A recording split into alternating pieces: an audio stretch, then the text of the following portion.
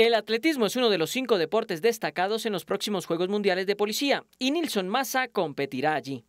En este momento me ven una preparación excelente y pues ahí estamos con el señor patrullero Lemus, que también es de aquí de Colombia, creo que es la competencia más fuerte en este momento, pero si estamos trabajando para mejorar creo que nos va a ir muy bien.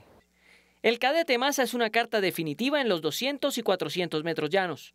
Hace ocho días estuve en el Panamericano Juvenil en Edmonton, Canadá, en el cual me fue muy bien, gracias a Dios, y pues ahí seguir trabajando para lo que viene ahora en el Mundial de Policía.